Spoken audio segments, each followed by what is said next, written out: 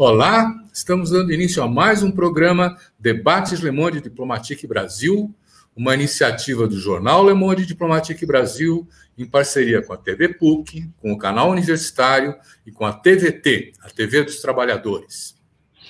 Vamos voltar hoje a um tema que vai, nos trans, vai se transformar num problema para nós daqui para frente. É a crise hídrica em São Paulo 2021 e 2022. Ela não para esse ano, não é? Vai faltar água na nossa torneira? O que é essa crise hídrica? Para onde está ela está nos levando? Qual é a responsabilidade do poder público? Que políticas precisavam ser feitas? Todas essas questões precisam ser respondidas, né? E para tratar desse tema, para tratar dessas questões, convidei duas pessoas que são especialistas na área. Quero apresentar para vocês a Marúcia Waiterly. Ela tem experiência na área de engenharia sanitária, com ênfase em planejamento integrado dos recursos hídricos. Atua principalmente nos temas da Billings, que é a represa, da região metropolitana de São Paulo, da questão da água e dos mananciais.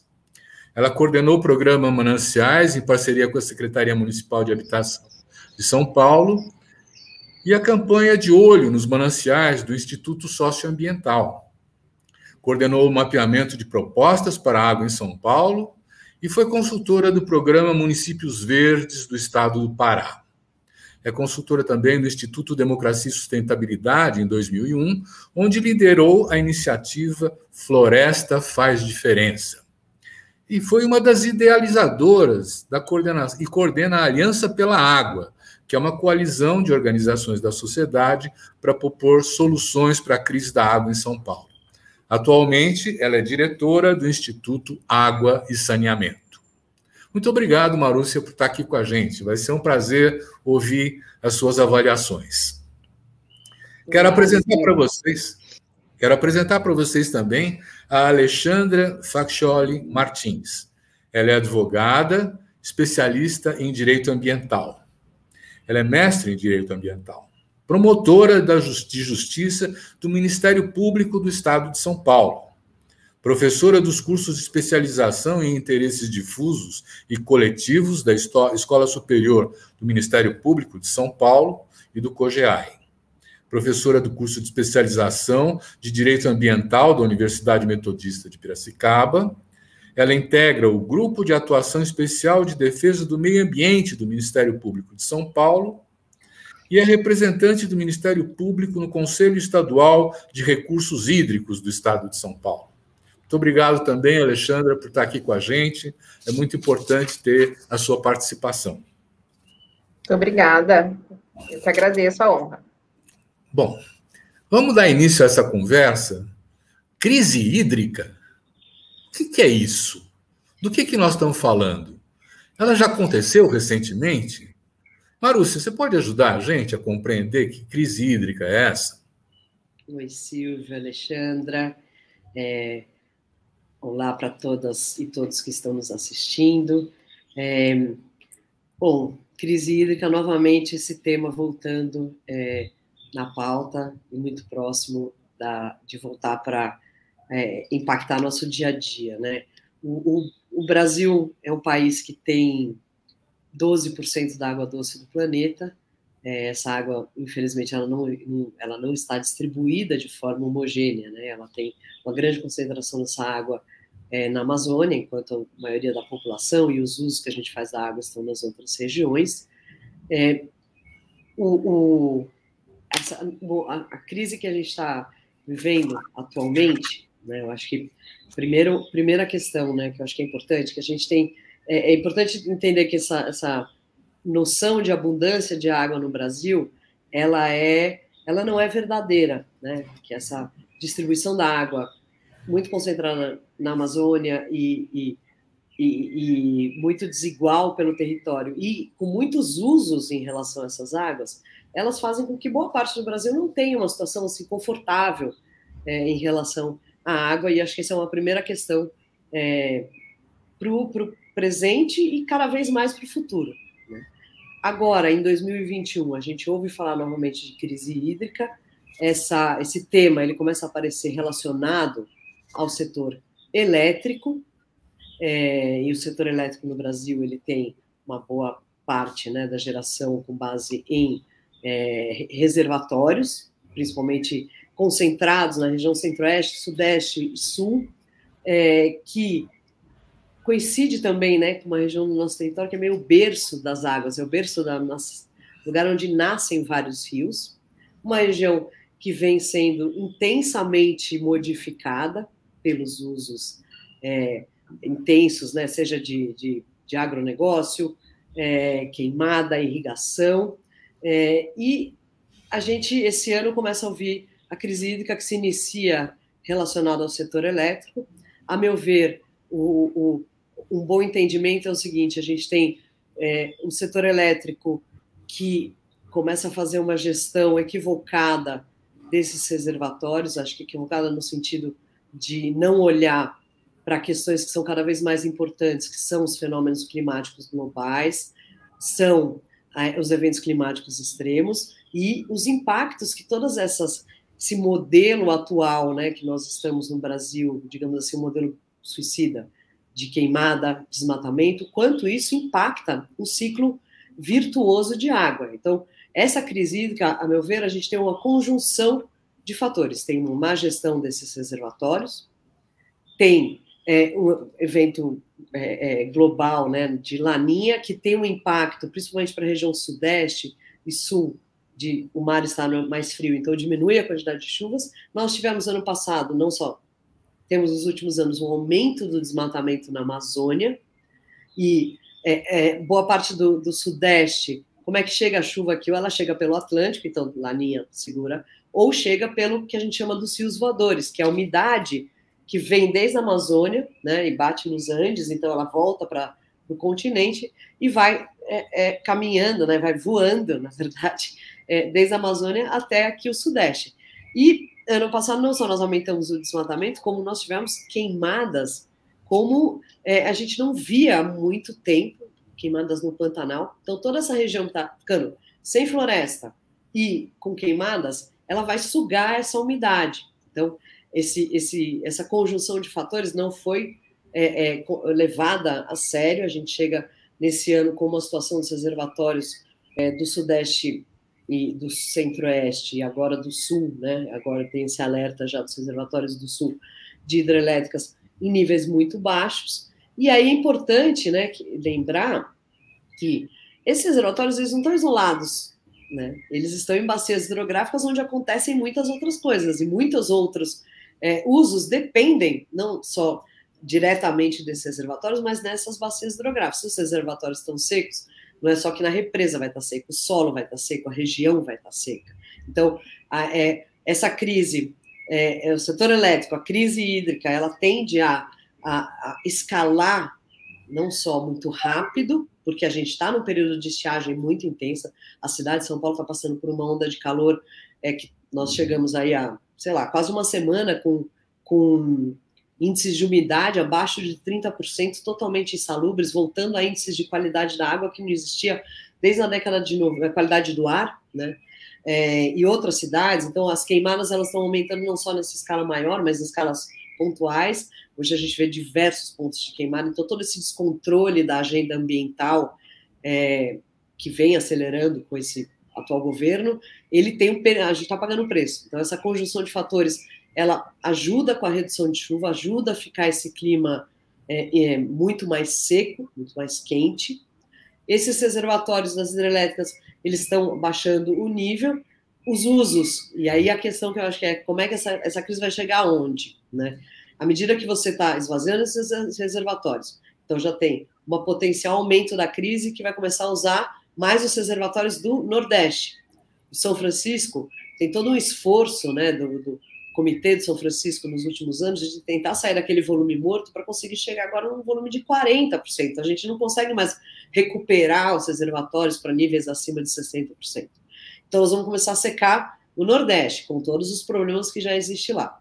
É, essa, essa, é, essa sugar toda a água desses reservatórios, obviamente que todas as questões de energia são muito importantes, mas tem uma outra crise, outras crises que vão ser desencadeadas os usos relacionados aos usos múltiplos, que vão ter restrições, então irrigação, é, navegação, né, já tem aí a poten potencial paralisação da, da hidrovia Tietê-Paraná, é, e irrigação, por exemplo, pode começar a impactar a produção de comida, preço da comida, aumento da inflação, e acho que o, o outro ponto já para fechar essa, essa introdução, é, também é importante lembrar que nessas regiões, né, no centro-oeste e sudeste, onde estão essas hidrelétricas, nós temos uma quantidade de população enorme e que, com certeza, essas bacias da, dos reservatórios, elas também estão em, os reservatórios estão em bacias que também os, os reservatórios e os mananciais utilizados para abastecimento de água estarão impactados.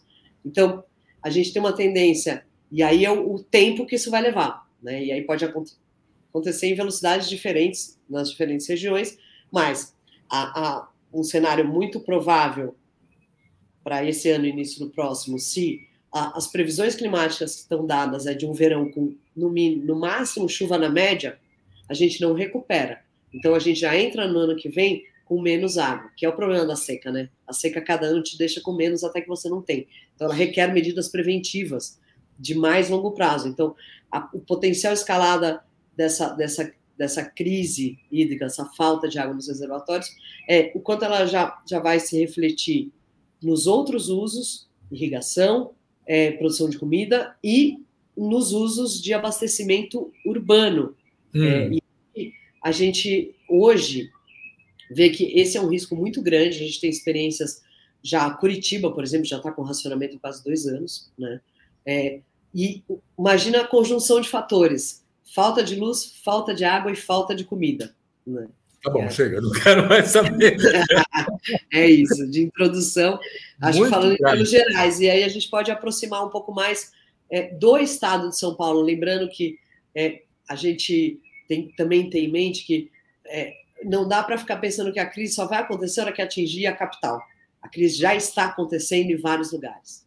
Marúcia, é, é, é, impressionante esse quadro, né? Inclusive agora, por exemplo, na Argentina, no sul da Argentina, tem quase dois metros de neve e uma temperatura de menos 20. Nós estamos chegando àquela situação dos extremos climáticos, né? Que não estava desse jeito antes. Eu queria convidar a Alexandra a falar um pouco. Alexandra, nós temos instrumentos de governança para administrar essa crise ou ela é uma coisa que a natureza nos impõe e não tem o que fazer? Obrigada, Silvio. Cumprimento também a Marúcia, tem sido uma grande aliada na luta pela segurança hídrica. E até retomando um pouquinho, antes de responder diretamente a sua pergunta, Silvio, eu gostaria de mencionar um pouquinho da minha visão em relação a essa questão de crise hídrica. Eu acho que mais do que esse termo crise, ah, estamos em crise hídrica, na verdade, talvez o termo mais correto seria nós começarmos a discutir segurança hídrica, né, que é muito mais abrangente e traz uma situação que é mais permanente. E é, o fato, e o que nós chamamos né, de crise hídrica, se trata, na verdade, de um risco ou de um rompimento dessa segurança hídrica que é compreendida como a disponibilidade de água em quantidade e qualidade suficientes para atendimento das necessidades humanas, para a realização das atividades econômicas, para a preservação dos ecossistemas aquáticos, enfim, todo um conjunto de, de que são traduzidas em dimensões é, humana, econômica, ecossistêmica e a própria resiliência.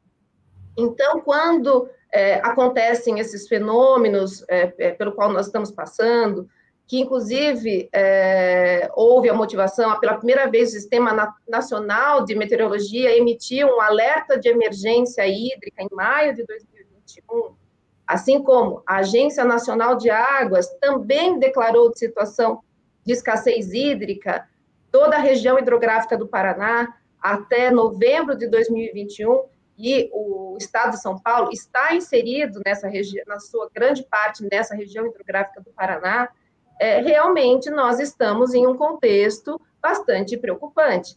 Então, até é, eu acho que nós devemos deixar um pouco de lado essa discussão, porque hoje já existe um reconhecimento oficial pela Agência Nacional de Águas e Saneamento que estamos numa situação de vulnerabilidade que é agravada por é, algumas outras questões que são cada vez mais sentidas, em especial merecendo destaque o contexto das mudanças climáticas. Como vocês bem adiantaram, é, nós hoje vivenciamos, nós sentimos na nossa rotina essas alterações do clima e a necessidade cada vez mais é, é premente de adaptações, é, até em setores como turismo, é, o próprio, sem, indo além até do que nós estamos falando, do setor elétrico, do setor de saneamento, nós temos isso afetando todas as nossas atividades diárias.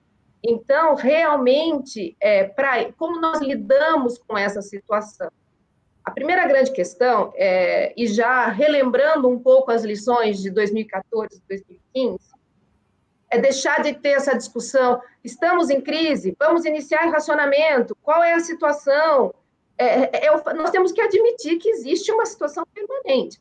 O Estado de São Paulo, em especial, região metropolitana de São Paulo, região das bacias dos rios Piracicaba, Capivari e Jundiaí, já ostentam uma situação muito abaixo dos limites críticos de disponibilidade de água por habitante ano.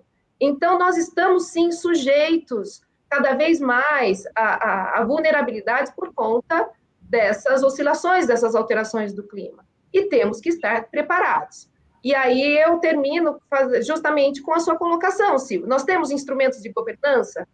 Temos, estamos aprimorando, mas precisamos ir muito além, porque esse diálogo com a sociedade tem que ser permanente. É importante que o sistema de recursos hídricos é, seja realmente adequado para antecipação de medidas para enfrentamento de situações mais graves, mais graves, que podem ou não vir a ocorrer. Nós estamos falando de algo que é incontrolável para o ser humano. Então, é, é, em direito ambiental, a, a, o princípio básico é o da precaução. Temos que é, atuar com planejamento, com a efetivação dos instrumentos da Política Nacional de Recursos Hídricos e todas as demais políticas com as quais é, a questão da água é correlacionada, e sempre lembrando que, quando nós temos usos competitivos, o que, que é uma crise? não temos água em quantidade ou qualidade suficiente para atender todas essas demandas iniciais que eu mencionei. Demandas de abastecimento, demandas da indústria, demanda da agricultura, da navegação, é, e também nós não podemos desconsiderar o que muitas vezes acontece, a questão, nós temos todo um ecossistema aquático e outro ambiental correlacionado que depende basicamente é, da água para a sobrevivência. Então, é, são lições que nós já cada vez estamos é, nos deparando. O, a sabedoria nos recomenda a ficarmos atentos, a promovermos diálogos é, permanentes com todos os setores, porque, é, por mais que exija nessa discussão de usos preponderantes, obviamente, a premissa de que se tratando de um direito humano fundamental, há de ser assegurado é, o abastecimento humano e a dessedentação animal, é óbvio que nós precisamos de produção, nós precisamos de alimentos sendo é, é, realmente cultivados, sendo oferecidos à população. Então, nós temos que achar um bom termo para que nós possamos, para que, seja possível nós atravessarmos com, menos danos possíveis para essa situação e evitar as causas. A Marúcia já fez aí uma pincelada de questões que permeiam essa discussão da segurança hídrica. E eu acho que esse encontro é justamente aonde nós podemos melhorar, o que nós podemos fazer e como nós passamos com menos danos, principalmente para as populações mais vulneráveis, que é fato que as crises não atingem a todos da mesma forma, para que haja um equilíbrio, para que haja equidade, para que haja justiça hídrica e justiça social. Muito bom. Quer dizer, então, que existe a possibilidade de não ter água na torneira. Né? Quer dizer, vocês mencionaram a crise de 2013, aonde, inclusive, na periferia das regiões metropolitanas, a água vinha de três em três dias, chegou a ter esse ponto, não é? Marúcia, tem essa expectativa? Porque, de fato, quer dizer, se nós temos o governo que temos, né, a influência do setor econômico, por exemplo, dos ruralistas, essas coisas, ela deve ser mais forte do que a capacidade da cidadania de disputar a redistribuição do escasso produto da água. Como é que você vê isso, Marúcia? É, a gente vive tempos difíceis, mas é, acho que é, o Brasil ele tem é, aí já há vários anos, né, sistemas de governança de recursos hídricos, né, nossa legislação de recursos hídricos nacional, é, com uma agência como a ANA, né, e com vários estados implementando suas políticas, trabalhando a questão dos comitês de bacia, planos de bacia, é, né, é, é, essa, é o espaço, né, de definir, de, é, diminuir esses conflitos, realizar as outorgas, usar melhor a água, fazer planos de bacia para recuperação, melhoria. É, esse, essa seria uma instância muito importante que, infelizmente, ela, ela é, vem sendo esvaziada como várias outras, mas é, nós temos isso. E acho que uma coisa que, que a Alexandra trouxe, antes de entrar nos cenários possíveis, né, que acho que um aprendizado importante da crise de abastecimento de água, né, porque acho que, primeiro, esse termo crise hídrica, é, dependendo da, do lugar que você olha, ele é uma crise permanente. São, região metropolitana de São Paulo, Piracicaba, etc., quem vive uma crise permanente, porque não é só associar a crise hídrica à falta de água, porque a gente já tem problemas seríssimos de qualidade, de conflito de uso, já são crises, são lugares que já têm estresse hídrico elevado. Né? O que nós estamos hoje é numa escalada para uma situação de emergência, acho que um primeiro aprendizado é, de, de, da situação de, que começou em 2013, você falou correto, começa o que em 2013? Começa a ter uma diminuição das chuvas. A crise de abastecimento acontece em 2014, então é um tempo entre a crise hídrica, entre a situação nas represas e a falta de chuvas, o que o impacto dela. Então não é agora. Eu acho que a gente ainda tem um período, nós estamos no período de estiagem aqui no Sudeste, temos um período de chuvas. Infelizmente, os cenários CEMADEM, internacionais, etc., estão dando no máximo chuvas na média. Não foi o que aconteceu no verão desse ano. O verão desse ano já teve é, um regime muito é, é, abaixo e um regime que está mudando no Sudeste, no estado de São Paulo. É, é, a gente tinha o mês de outubro como início das chuvas, esse não é mais, é novembro. Tinha é, chuvas mais distribuídas ao longo do mês, que a gente tem visto assim, é uma chuva muito com muita água é, em alguns dias do mês e o resto seco. Isso não enche reservatório, isso não faz recarga de aquífero, isso não recompõe os, os lençóis freáticos, porque essa chuva, é, no verão, inclusive, vai evaporar essa água. Né? E se as bacias hidrográficas estão mal cuidadas, estão com muito solo exposto, é, essa água vai escoar pela superfície. Então, tem os reservatórios eles são uma fonte de perda de água muito grande, como a Agência Nacional de Água já vem mostrando. Então, acho que a gente tem que pensar que a gente está numa situação é, é, de emergência, porque é, num contexto de incerteza em relação à previsão, no contexto de aumento em intensidade e frequência de eventos climáticos extremos, de descontrole é, de uma série de processos que resultam né, em queimada, em desmatamento. Ou seja, a gente tem essa conjunção, ela está dada. Né?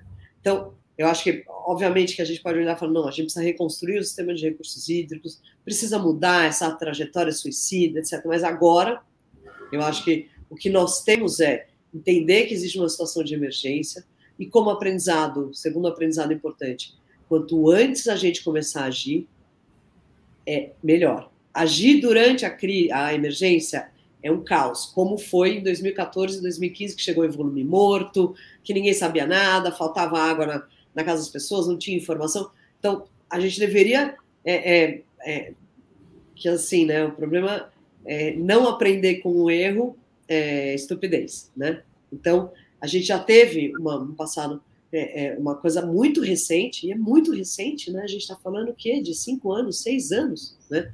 É, e, e, essa situação ela pode escalar. Já existem vários municípios do estado de São Paulo que estão com racionamento, tá?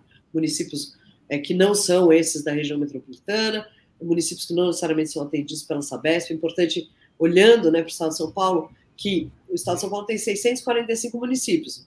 Pouco mais da metade deles são atendidos pela Sabesp, a outra metade são atendidos por prestadores municipais, por privados, pelas próprias prefeituras. Alguns têm represas, outros têm águas subterrâneas, né? E quando nós estamos falando de uma diminuição, uma, uma perda de volume dos reservatórios, não é só que a represa está seca, todo o solo no entorno está seco. Então, também vai abaixar o nível da água subterrânea e é uma reserva fundamental que a gente não pode ficar usando de forma indiscriminada. Então, a solução é vamos furar mais poço. Nem sabemos se a gente tem de fato aquela água, né? E os impactos disso é, no futuro. Então, acho que essa situação ela já está dada em alguns municípios do estado. Nós estamos ainda é, tem aí no mês de setembro e outubro, provavelmente sem chuvas. É, o que é está acontecendo é que a gente está vivendo uma onda de calor muito forte, então não é só que está no inverno que não chove, é, a gente está vivendo baixa umidade, isso evapora mais ainda os reservatórios, né? seca mais o solo, então fica mais difícil da chuva que vier até ela começar a encher represa de novo, que foi o que a gente vivenciou em 2016, quando voltou a chover.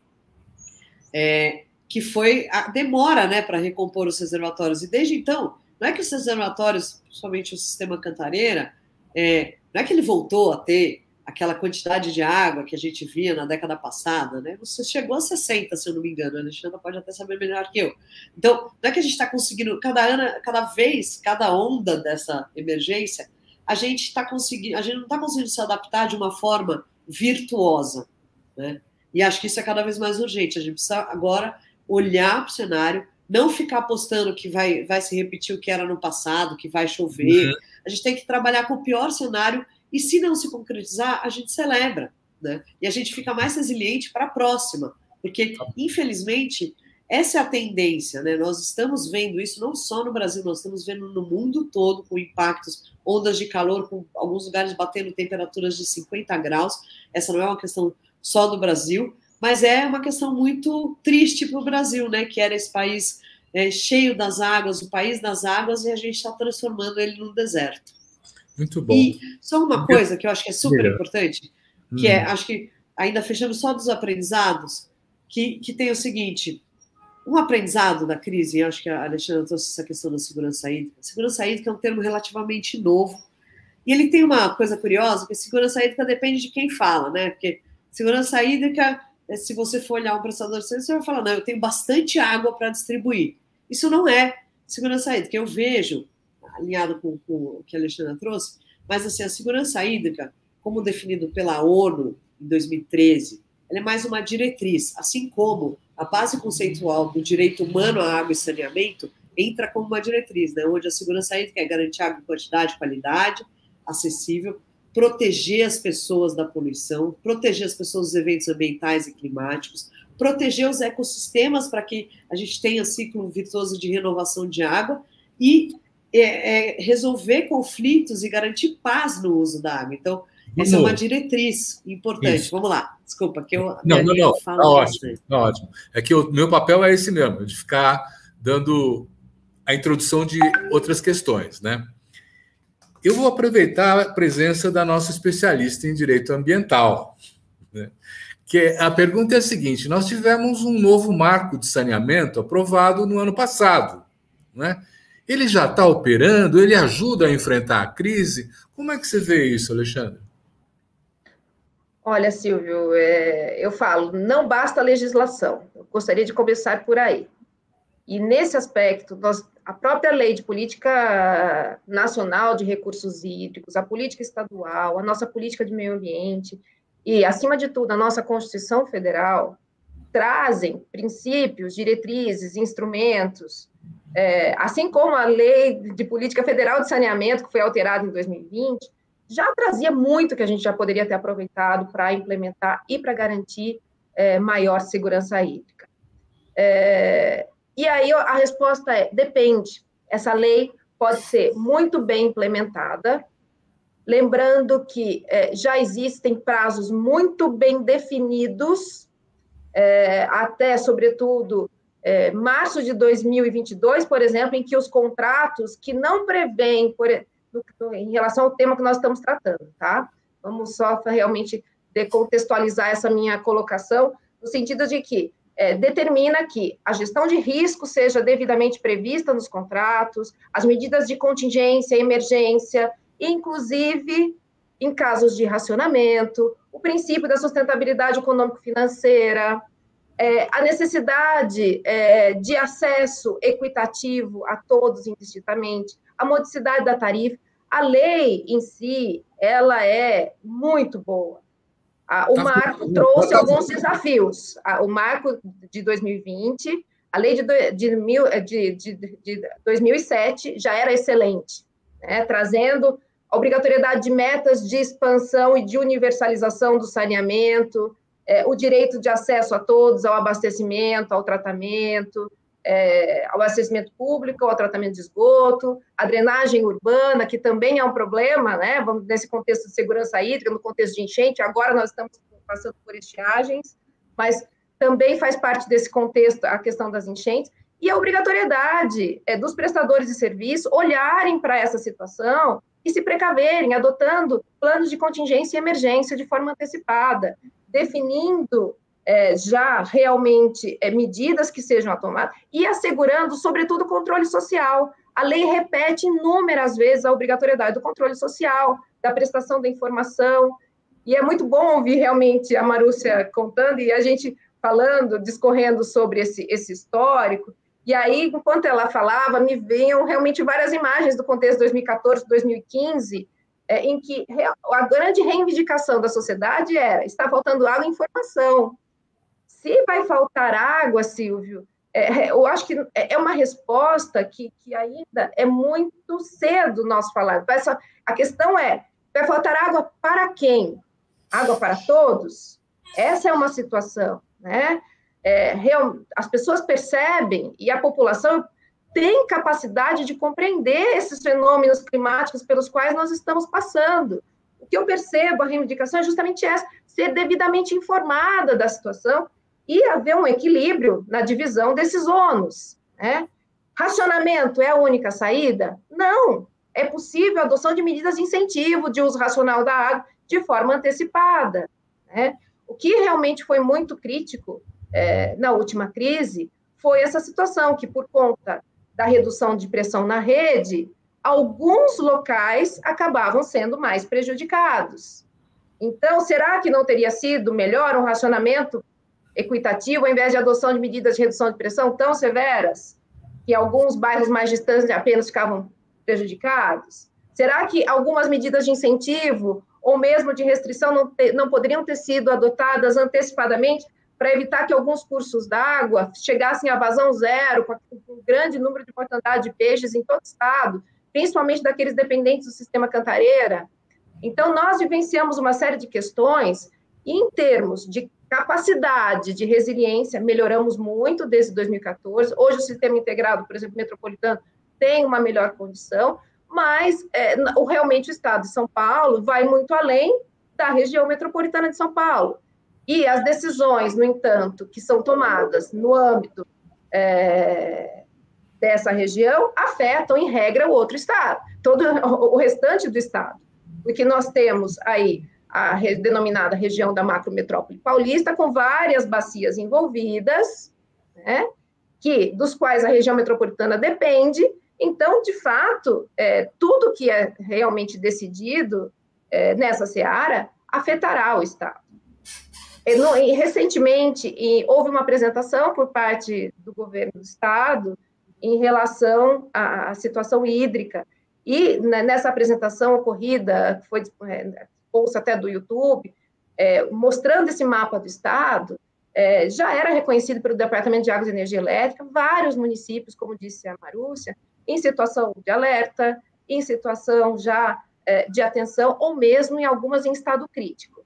E aí, a grande questão é, o que fazer diante dessas situações? A lei traz instrumentos. É possível realmente reduzir captações, é, dialogar com os diversos setores, e o melhor, é, eu gostei muito de uma medida que foi adotada, mas pena que tardiamente, em outro momento, que é realmente é, um diálogo amplo com todos os setores, em que foram pactuados horários de restrição para cada um deles, de forma a garantir que todo mundo continuasse tendo o mínimo necessário para a manutenção das atividades, para garantir esses múltiplos usos. Então, o desafio dos órgãos otorgantes é assegurar os usos prioritários, que obviamente sempre será o abastecimento humano e a dessedentação animal, mas também promover esse uso, esses usos múltiplos. Né? Uhum. Essa, isso faz parte do desafio da gestão. Muito bom. Marúcia, essa BESP é responsável aqui pela Grande São Paulo? Já não era hora de ter começado uma campanha, por exemplo, de educação, então, de informação? Porque se você fala é melhor prevenir do que remediar, ainda que já estejamos remediando, né? Dizer, como é que fica? Nós estamos acompanhando, nós estamos conseguindo uh, criar as condições para enfrentar a crise? Então, Silvio, é, eu vou, vou, responder essa sua pergunta, mas é que foi muito importante você ter trazido o, a Lei 14.026, né, que altera o marco legal do saneamento.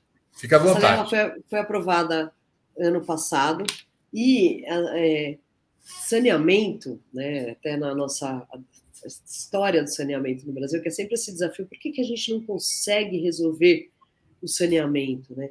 Ele é marcado sempre por uma disputa de qual que é o papel do Estado, Estado, né, é, em relação a, a, ao saneamento. Eu acho que essa disputa, ela, ela já foi para um lado mais, ah, o Estado não tem nada a ver, ou uma, uma coisa mais municipalista, enfim. Agora a gente não tem nenhuma visão, eu acho, minha opinião, e eu acho que essa lei ela foi muito motivada numa coisa de é, muito motivada para ampliar concessões é, de, de, de, privatização de algumas companhias.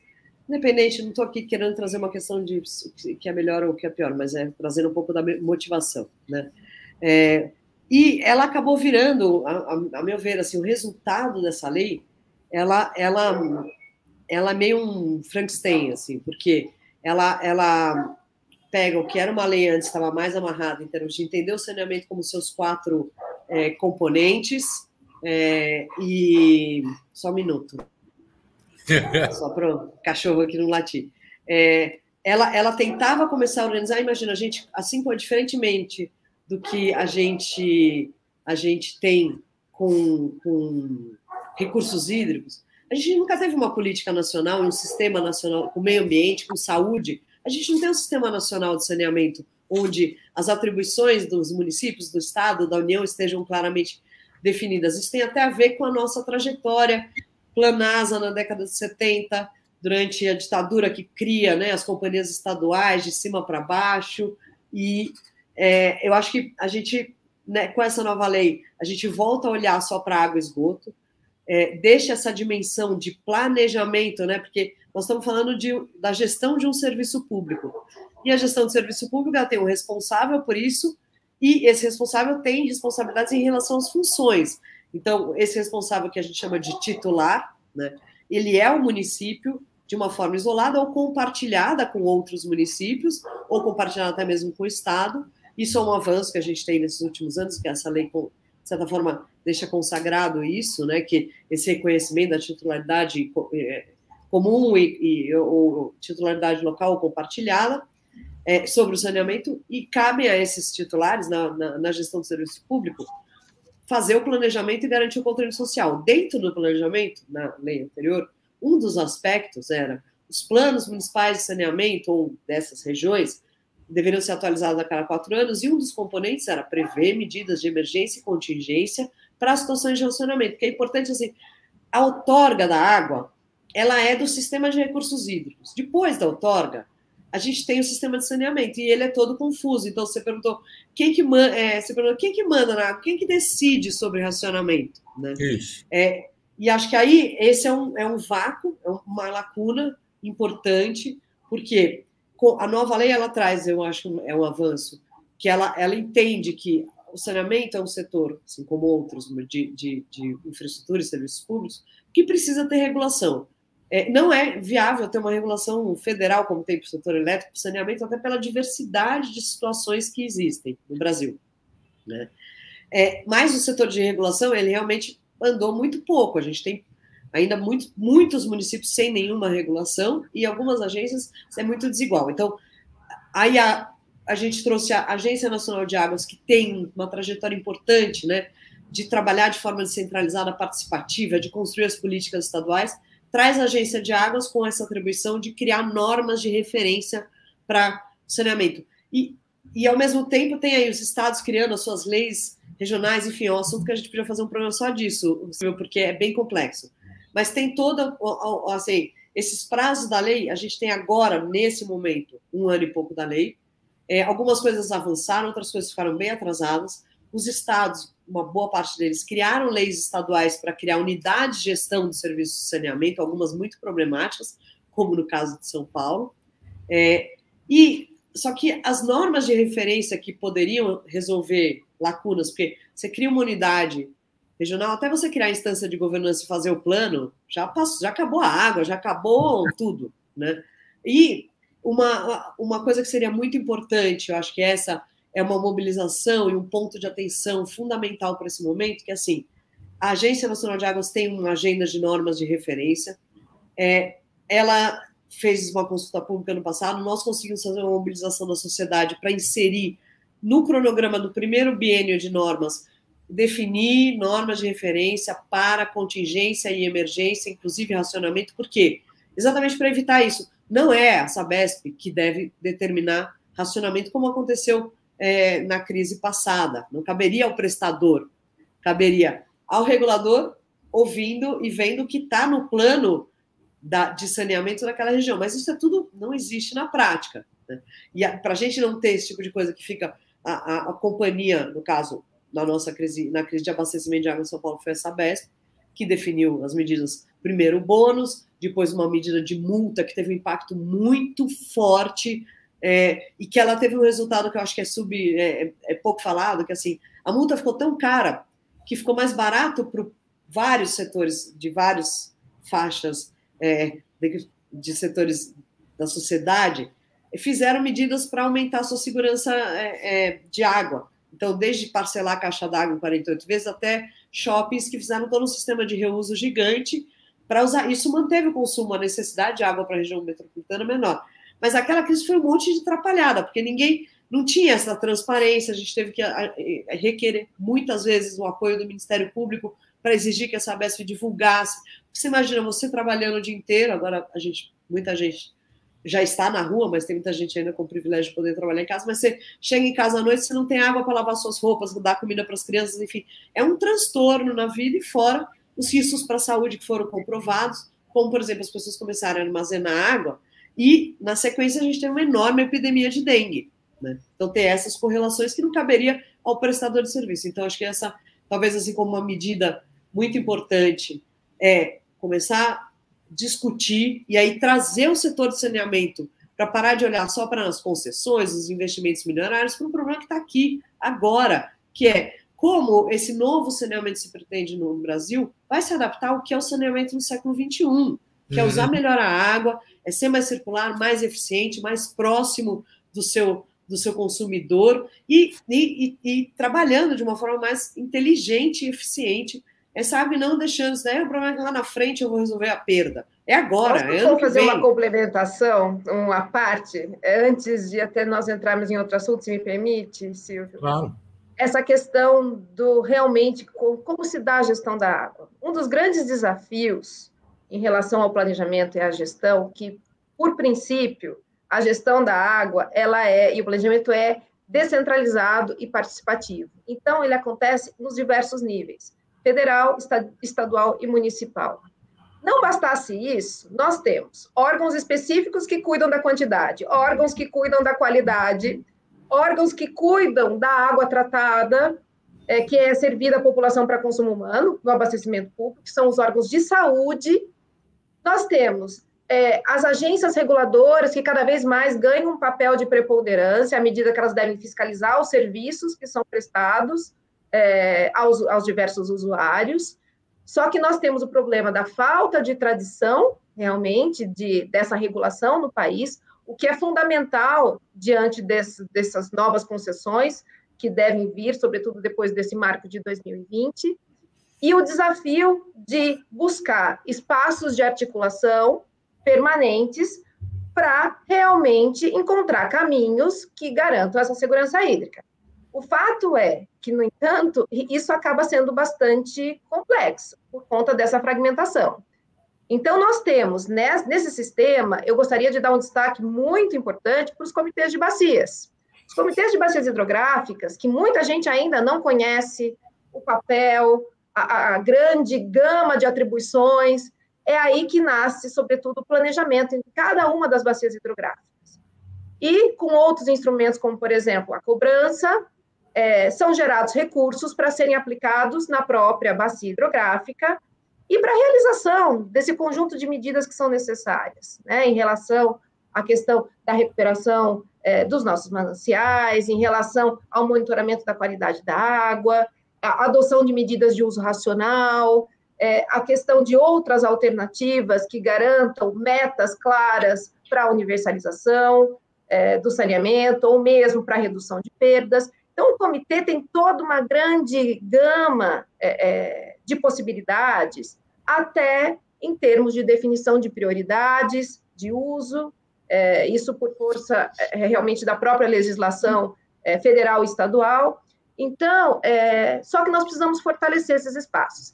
Esses espaços que são denominados de parlamento das águas, nós temos a presença do poder público, dos usuários e da sociedade civil.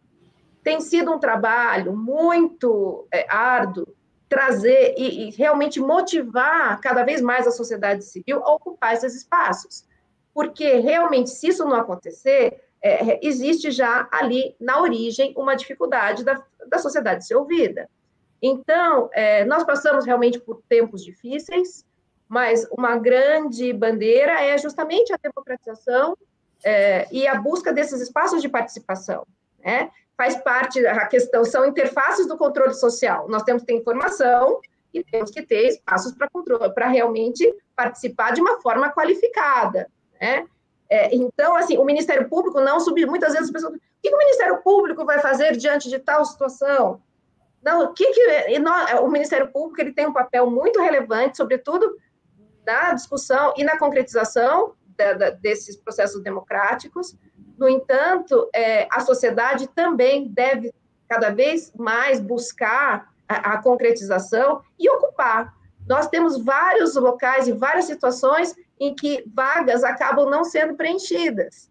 E aí nós temos aí esse trabalho brilhante que foi feito pela Aliança pela Água, é com a coordenação da Marúcia tem como, né, na época, com mais de 50 entidades discutindo.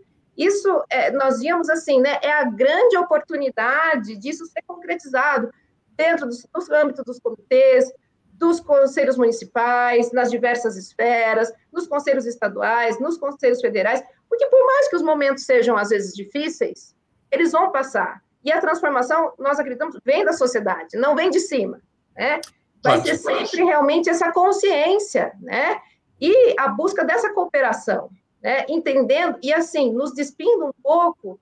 De, é muito fácil dialogar com quem pensa da mesma forma que a gente, né? O difícil é ouvir o outro, ouvir o que realmente é difícil para cada um dos segmentos e buscar um eixo comum. Qual é o caminho do meio? Deixa eu é, entrar agora, que eu preciso entrar. Muito obrigado. Olha, Tá, é tão interessante e é tão complexo esse tema que nós já estamos esgotando o nosso tempo, né?